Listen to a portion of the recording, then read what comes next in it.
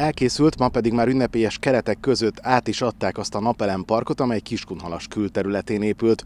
A több mint 23 milliárd forintos beruházás évente annyi energiát termel majd, amely nagyjából 34 ezer háztartás éves energiafogyasztását fedezi.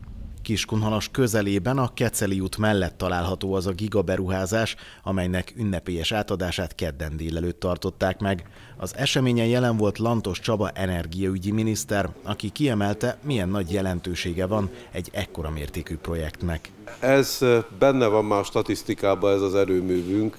Ugye 5600 megawattnyi naperőmű van ebbe az országba.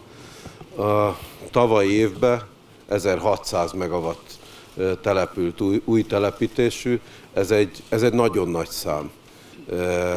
Ugye Magyarországon nagy erőmű, utoljára a Paksi erőmű képébe épült, az egy 2000 megawattos ma már, 2000 megawattos, utána elvétve épültek erőművek Magyarországon. Ugye az 5600 megawattból nagyjából valamivel több, mint az egyharmad az háztartási méretű, és a valamivel a kétharmad alatt van az ipari méretű erőmű, és ez fog folytatódni.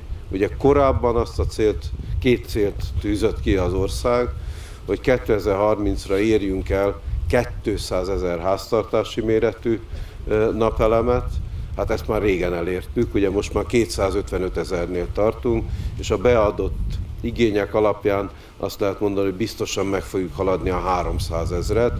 Bányai Gábor kormánybiztos országgyűlési képviselő a megújuló energiaforrások fontosságára hívta fel a jelenlévők figyelmét.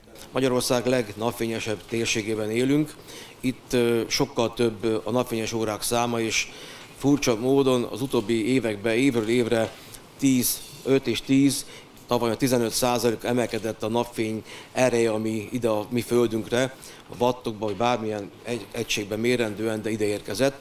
Csak jelzem, ez a hónap a tavalyi évhez képest már most 30 százalékkal több napfényes órát és energiatermelést nyújtott, mint 2023-ban, tehát valami oknál fogva egyre erősödik a napsugárzás. Bácskiskulnak a déli, középső déli része és Csongrácsanádnak a Tiszán inneni része Magyarország geotermikus nagy rezervoárait tartalmazza. Itt lesznek a jövőben, ha minden igaz, Magyarország legnagyobb geotermikus erőműve is, hisz olyan mennyiségű hőenergia van alattunk több ezer méter mélységben, ami talán fölcsillantja a vállalkozók, befektetőknek a szemét is, hogy ebből is érdemes ezt majd gondolkodni.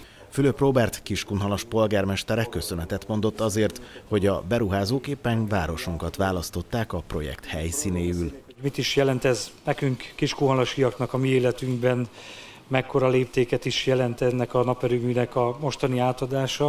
A miniszter úr említette azt, hogy ez több mint 34 ezer háztartás ellátására alkalmas ennyiségű áramot állít elő ez az erőmű egy évben, és hát Kiskolos önmagában nincs ekkora.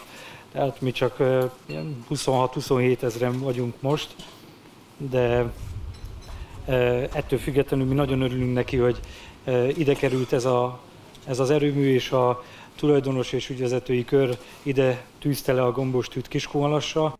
A beruházó cég képviseletében Gál Tibor ügyvezető osztotta meg gondolatait. Legutóbb, amikor ilyen naperőmű átadó sajtótájékoztatón voltunk, az tíz évvel ezelőtt volt, és első erőművünket adtuk át, ami egy fél megawattos erőmű volt. Eltelt tíz év, és egy százszor akkor erőműnek a, az átadásán gyűltünk össze ismét. A köszöntőket követően a jelenlévők szemügyre vették a Napelem Park teljes területét, részletesen megismerkedhettek a technológia működésével és előnyeivel.